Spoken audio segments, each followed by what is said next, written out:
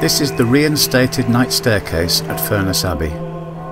The abbey was founded on this site in 1127 by a community of monks from Savigny, a monastery in Normandy. They had spent the previous three years from 1124 at Tulketh near Preston. The rebuilding of the night stairs in the space of the original allows visitors to follow in the footsteps of an important daily ritual in the lives of the monks of Furness. The original stairs were used by monks over many centuries.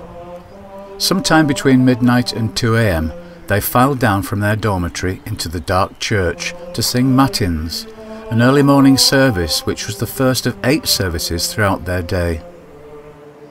Their dormitory ran the length of the East Range at first floor level. For many centuries the lower part of the stairs was missing, probably destroyed during Henry VIII's dissolution of the monastery. But during recent work to improve access for all visitors to Furness Abbey, the night stair has been reinstated and a timber structure now meets the stone steps in the archway.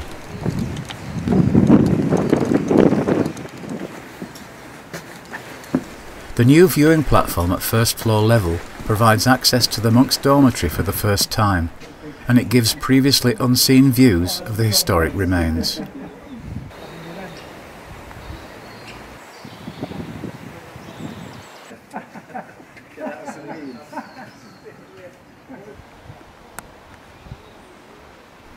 This staircase was only used at night. The outline of the monk's day stair can still be seen against the wall of the east range, with the doorway to the dormitory at the top. These stairs led up from the warming house, where a fire was kept burning from All Saints' Day until Good Friday, so that monks might keep warm in the winter months. There was a similar dormitory at first floor level over the West Range for lay brothers, as they also attended night services. The remains of their night stairs are less prominent, but can still be seen at the west end of the nave.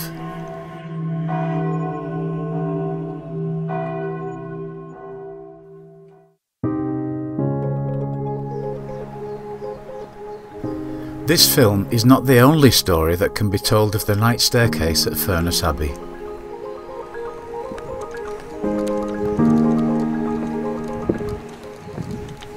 This photograph is called A Vista, Furness Abbey, and was taken on the night stair in 1860 by Victorian photographer Roger Fenton. He was one of the most famous and accomplished landscape and architectural photographers of his time.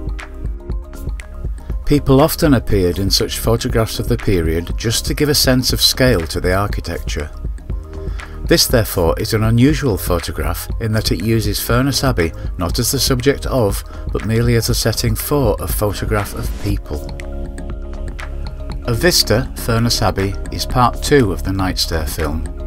A longer film telling the story of Roger Fenton, his visit to Furness, and how this unique photograph may have come to be.